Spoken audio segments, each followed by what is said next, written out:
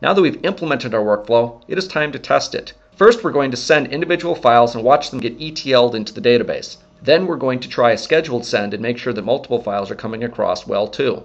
And finally, we will review the adequate database statistics, which was one of the goals of our exercise today.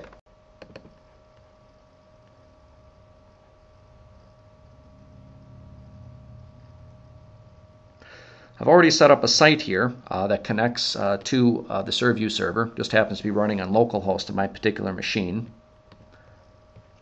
It uses SSH to connect. Uh, uses an unusual port here. That's just uh, that's just uh, my particular case in this. It's using an existing user ID and server and Serv-U with a specific password. So we're just going to go ahead and get connect here, and it'll connect using SFTP.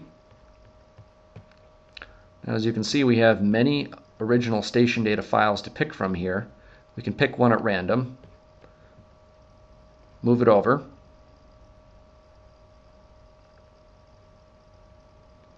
it goes right onto the server. But if I do a refresh on that particular directory, you'll see that it's immediately taken away. And again, if I look at the inbound station data, there's nothing there either because it's already been processed from Serv-U's point of view. I can find a trace of it in the archive station data, which it was just created. And I should, if I go into my database, also find traces of it here.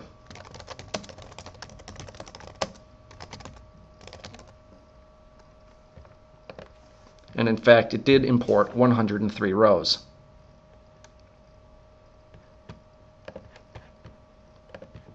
And finally, to make sure that it came through and it went okay, we can check the log file that we were writing out with the import gas transaction to database batch file. And what we see in here is that uh, the parameters we expected came in, um, that the ETL operation worked. It read 108 lines total, it processed 103 of them, inserted 103 of them successfully, while ignoring three header and footer lines and two comment lines. And then we can also see in this particular log that the uh, zip operation and the move operation also succeeded.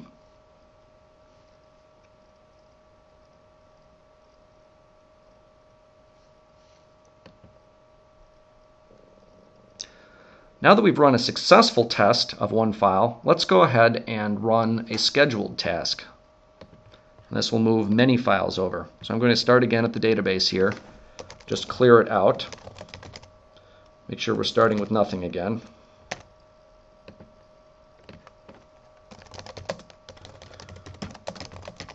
Make sure it's absolutely clear. It is. Going to take a look at the FTP Voyager scheduler.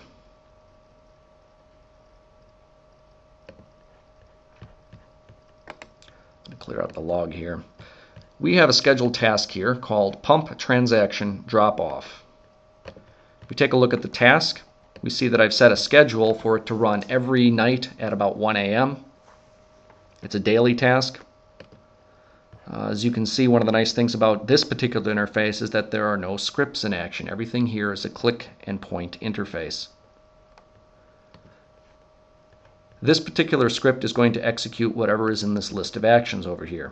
And so this list of actions is configured to upload from this location, so all the original station files from station 001, and put them into the root directory on the remote server, which again, because this user is locked to the remote server on Serv-U is the only thing that'll happen.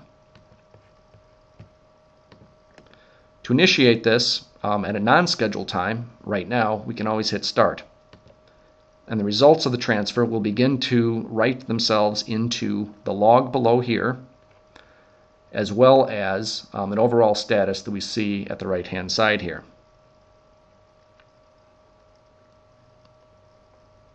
Now if we flip over to the inbound station data, we can see some of these files starting to come in.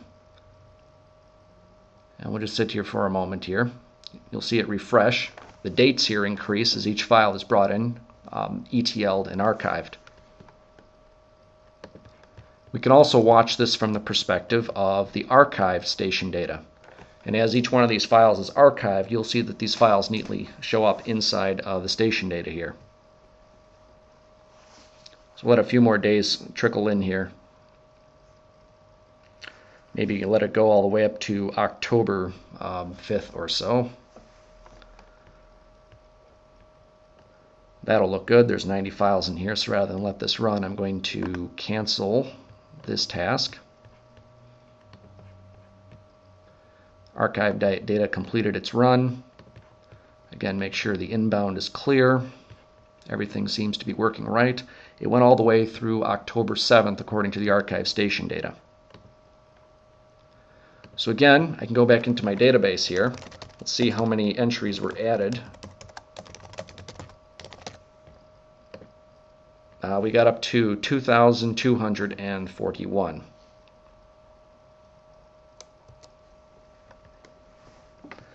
Now what we can do, now that everything is in the database, is we can also execute a query or two uh, to provide our statistics at the end. So let me bounce back to a list of some uh, queries that we might want to use on a statistics database. This looks a little messy, but it'll look better when I copy it into So if we're looking at this from the point of view of somebody trying to get business statistics out of here, uh, because we have able to import about a month of data, we can take a look here and find that um, in in that in that month span, um, the average charge that we assessed people was $48. Minimum charge $26.06, and maximum charge $122. How many sales of each type of fuel took place in that time period? Again, regular um, more than anything else. Then we can take a look at what was charged per day and what were the daily gas prices uh, for the entire time. We can also break that out by diesel fuel separately.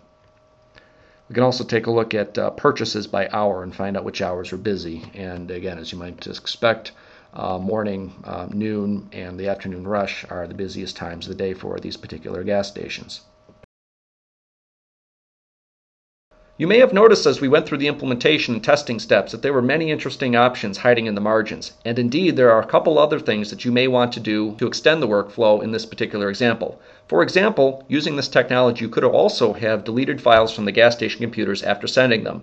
You could also have emailed every station owner or headquarters when daily transactions were or were not delivered. And finally, you could have kicked off an engine to draw and deliver reports and graphs, or even have those delivered um, back to the original senders. In summary, or if you're just joining us here at the end, we just went through a business case, look at resources, a workflow phase, implementation phase, testing, and some possible extensions of an integrated workflow involving ServU and FTP Voyager. It's a quick process, it's a simple process, and it's one that controlled the costs in this example. I hope you enjoyed this integration spotlight and will join us again. Please visit us on the web or on Twitter Again, we are File Transfer Consulting. You can visit us at filetransferconsulting.com or see us on Twitter at FT Experts. Thank you.